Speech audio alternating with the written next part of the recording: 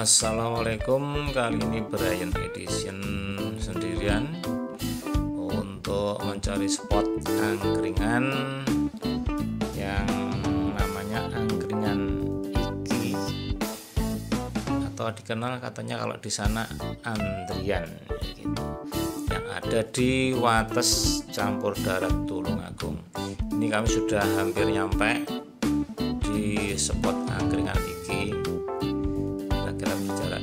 200 meter lagi. Oke suasana hari ini cerah. Matahari bersinar panas. Begitu tapi karena di depan sana ada kegiatan vaksin kami hanya lewat saja akhirnya.